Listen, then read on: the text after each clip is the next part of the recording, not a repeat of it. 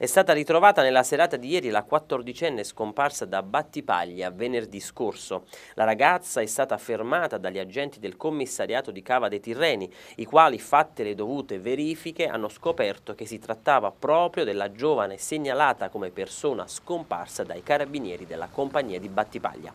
La quattordicenne è stata riconsegnata ai genitori poche ore dopo.